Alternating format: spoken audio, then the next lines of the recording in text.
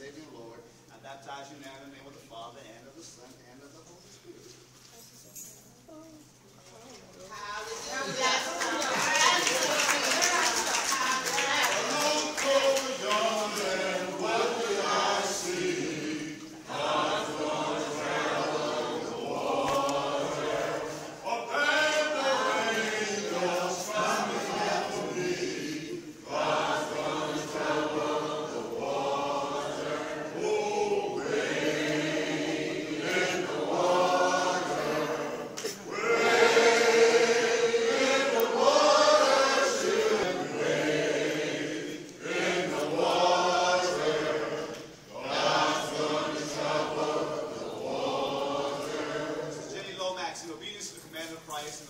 Of your faith in him as Savior and Lord, and you now in the name of the Father, and of the Son, and of the Holy Spirit.